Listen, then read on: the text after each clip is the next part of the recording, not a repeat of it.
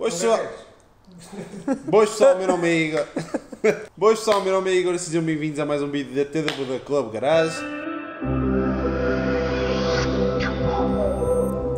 O meu nome é Nuno. Boa Ruba. Foi o Lutado Origem que nos desafiou a fazer este vídeo. Por isso o vídeo dele também está na descrição para vocês, se tiverem curiosidade da opinião dele, fica aí na descrição, passem por lá.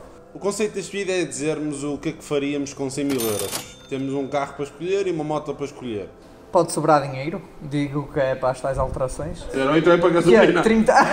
Ou, ou para mecânica. Para o seguro também. Temos aqui um bocadinho de tudo. Eu é mais carros e menos motos, ele é mais motos e menos carros e não, não, não é nada. Basicamente. Sim. Mas, não, pá, eu muito sinceramente, se tivesse 100 mil euros para gastar, o carro que eu escolheria vai ser sempre a mesma opção. Ia ser um Honda NSX. Tendo em conta que neste momento eu estou eh, por volta desse preço, nem para gasolina me ia sobrar. Mas vamos fingir que estamos há 3 anos e 4 atrás, 3, 4 anos atrás e estão a, é uma média de 70 mil euros. Que estão aí a uma média de 70 mil euros, que era quando eles custavam há uns anos. Já estava atrás regras. Não estou por ter a Oh, pronto.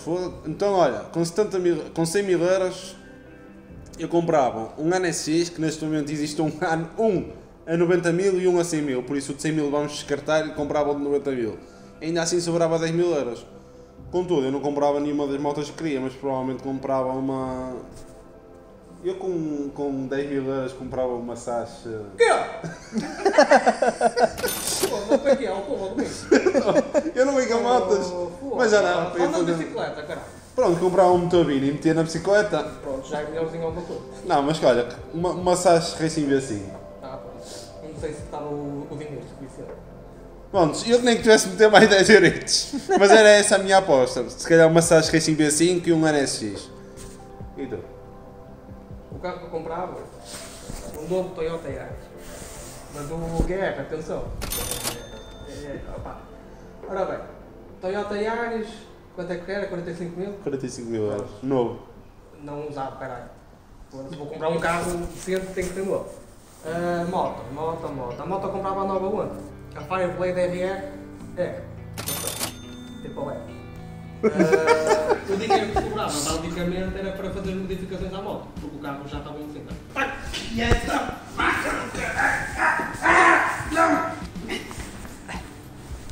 Vamos lá. No meu caso, ah, como o Igor disse, eu não percebo muito de motas nem de carros, vou mais pela parte visual. Ah, eu sou um apaixonado por Porsche, ah, devido ao design que eles têm.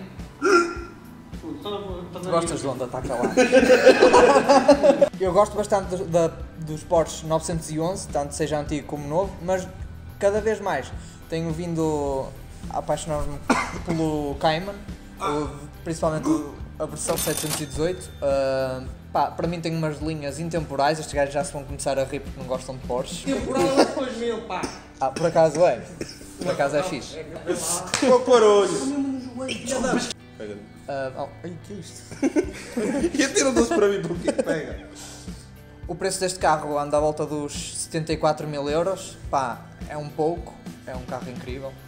Mas ainda assim, pelo feedback que eu tive destes dois, é muito. Não sei porquê, é um pouco. Oh, foda Nas motas eu escolhia uma Ducati Scramble. Depois de a ter comprado, eu faria algumas modificações, como a imagem que eu vou, como na imagem que eu vou colocar aqui agora. Ah, pá, não sei quanto, quanto é que custará para, para fazer estas alterações, mas com basicamente o preço desta moto seria à volta dos 12 mil euros. Portanto, ainda me sobrava algum dinheiro para fazer estas alterações ah, e até para pagar o seguro e os impostos, porque provavelmente eu não tinha dinheiro para sustentar isto. Portanto, um gajo tem de pensar sempre. As alterações vais gastar na oficina. Tem Ah. calma, que aí. Oh, mas, é um mas eu também nunca fui um gajo de motas, eu queria aquela moto para ter em casa, assim. Ia meter uma volta. Peraí, Agora sou um bocadinho mais realista, já que os 100 mil euros iam ser só para o NSX, é bem dizer, não ia ter dinheiro nem sequer para modificar e ia ficar um bocadinho desanimado com isso. Provavelmente investia só em F. Além do F que eu já tenho, comprava outra F, preparava-o todo só para a pista, pegava, pegava no meu F também e terminava o projeto. Não é mal pensado, mas se comprar um Porsche era melhor. é é?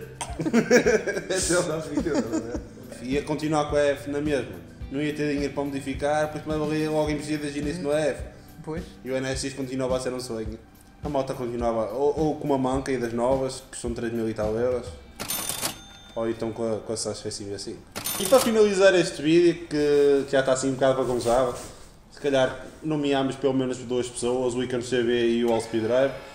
Eh, e provavelmente é só isso, não vamos estar a nomear muito mais gente porque desde já também já estão todos convidados a deixarem nos comentários a vossa opinião sobre isto, por isso vocês enquanto subscritores também contamos com vocês para continuar esta corrente. Da minha parte é só, espero que vocês tenham gostado deste vídeo, até uma próxima e fui! Obrigado!